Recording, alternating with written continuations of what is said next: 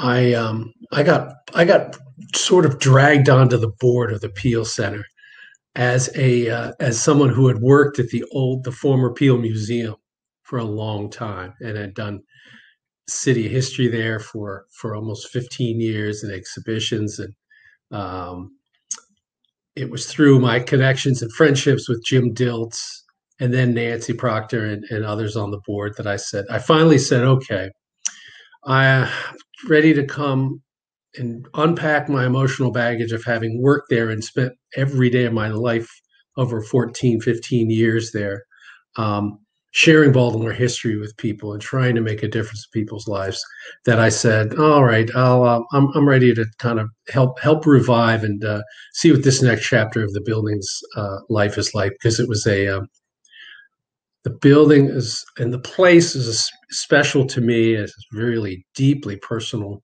meaning in my own life, in my family's life. The the Peale is a really special place. It,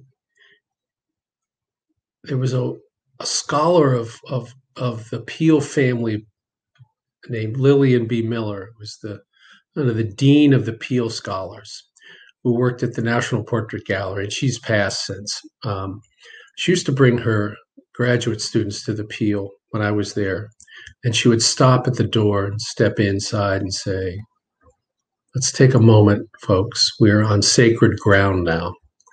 And for her, and it was transmitted to me that this place um, was special because of what Rembrandt did and his audacious Rembrandt Peale, this audacious idea of opening a museum. Um, ultimately didn't work, but this audacious ambitiousness uh, the spirit of of inqu- uh, inquiry and, and sharing and, and creativity. Um, I see that today. I see. I, that's my hope for the future. That um, the building I knew and worked in as this kind of platform and vessel for learning and for engaging and for understanding where we are and, and who we are in Baltimore, uh, that it continues.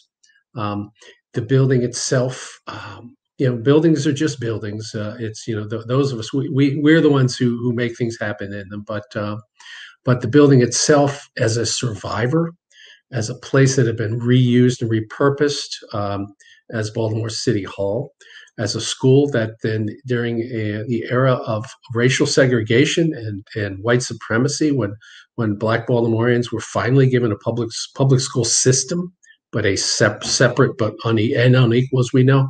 Uh, and the Peale's chapter over about 10, 12 years as a uh, as a so-called colored school. Um, this this this these layers to this building that just won't go away.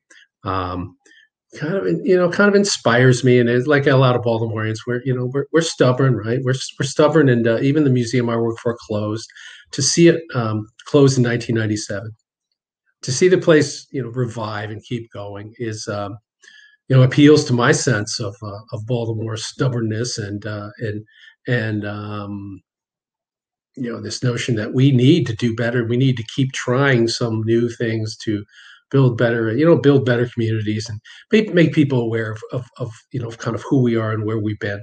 Um, that's that's been my whole work life in in public history and museum work. Um, so the Peale embodies all that, and I'm excited um, to see new people get excited about the building. So some of some of what I love about it is the fact that people care. A new generation or generations younger than me are coming along and caring about it and saying, "Oh, things special things can happen here."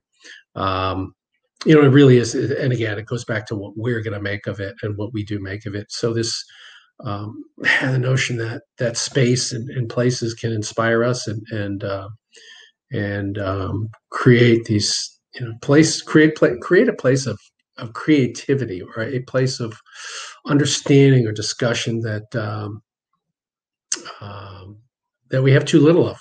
Um, so um, in our in our public life in our civic life. So um, yeah, I'm excited about that. That uh, kind of I guess you might say it's kind of the Peale. Maybe it's unfinished business for me. Somebody you know, somebody could psychoanalyze me and say, okay, you, are not done yet with this building, um, place you you know you you put your blood, sweat, and tears in over the years, and then watched close and shutter. So so maybe for me it, it is that also again back to that stubbornness, back to that damn it, we uh, we could still do good things, um, and we need we deserve we deserve it. We we owe it to ourselves and um, to do better and to do uh, to do more and do better.